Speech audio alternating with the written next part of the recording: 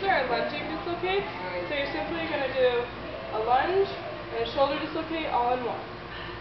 So like this.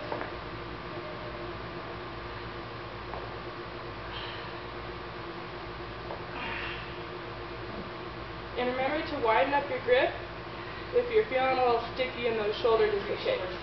And narrow it if it's too easy. Make it harder. And those are lunging shoulder dislocates.